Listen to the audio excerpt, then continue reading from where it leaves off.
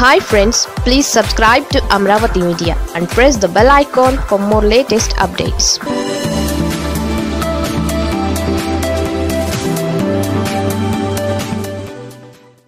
రెండు వేల ఇరవై నాలుగులోనూ జగనే సీఎం. తేల్చేసిన ఉండవల్లి అరుణ్ కుమార్.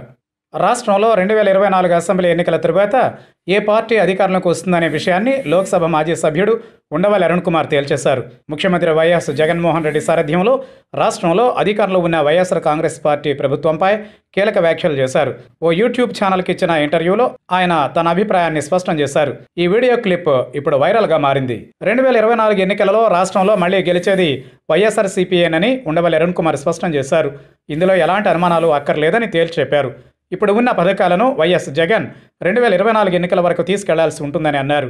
కరోనా వైరస్ వ్యాప్తి చెందుతోన్న ప్రస్తుత పరిస్థితులకు అనుగుణంగా వైఎస్ జగన్ పరిపాలన సాగుతోందని చెప్పారు. కరోనా వైరస్ వ్యాప్తి చెందిన సమయంలో ప్రజలను ఆయన ఆర్థికంగా ఆదుకోగలిగారని అన్నారు. కరోనా వైరస్ వ్యాప్తి చెందిన కాలంలో ఏదో ఒక రూపంలో ప్రజలను ఆర్థికంగా ఆదుకోవాలని ప్రపంచవ్యాప్తంగా ఉన్న ఆర్థికవేత్తలు సైతం పలు సందర్భాలలో చెప్పుకొచ్చారని ఉండవల్లి అరుణ్ కుమార్ గుర్తు చేశారు.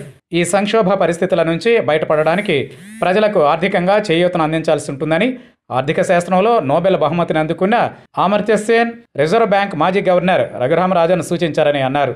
పేద ప్రజల బ్యాంక్ అకౌంట్లలో డబ్బులు వేయాలని అది మళ్ళీ తిరిగి మార్కెట్లోకి వస్తుందనేది ఆర్థికవేత్తల అభిప్రాయమని ఉండవల్లి అరుణ్ కుమార్ చెప్పారు. కరోనా సమయంలో ఏపీలో ఇదే జరిగిందని అన్నారు. ఈ ఆర్థిక సూత్రాన్ని వైఎస్ జగన్ పక్కాగా పకడ్బందీగా అమలు చేశారని పేర్కొన్నారు.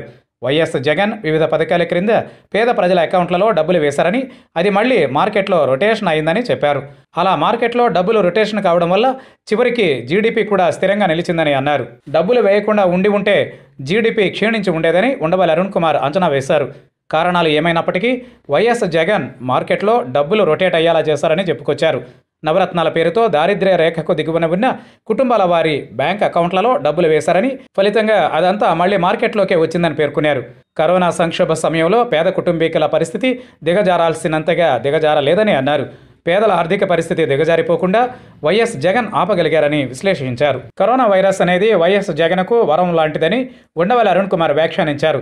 ఆయన ఆర్థిక నిర్వహణ ఎంత శక్తివంతమైనదో పటిష్టమైనదో కరోనా సంక్షోభ కాలం స్పష్టం చేసిందని అన్నారు. అదే కరోనా స్థితిగతులు ప్రధానమంత్రి నరేంద్ర మోదీకి శాపంగా మారాయని చెప్పారు. కరోనా సంక్షోభ పరిస్థితుల నుంచి ప్రజలను ఒడ్డెక్కించడం వల్ల వైఎస్ జగన్ ఇమేజ్ పెరిగిందని అవే పరిస్థితులు మోదీ ఇమేజ్ తగ్గడానికి కారణమయ్యాయని చెప్పారు. తొలివేవు తరువాత నరేంద్ర మోదీ సెల్ఫ్ గోల్ వేసుకున్నాడని అన్నారు. కరోనా పరిస్థితులు అనేవి వైఎస్ జగన్కు అడ్వాంటేజ్ అని ఈ సంక్షోభ పరిస్థితుల్లో ఏ ముఖ్యమంత్రి అయినా ఇంతకన్నా ఇంకేమీ చేయలేరని అన్నారు.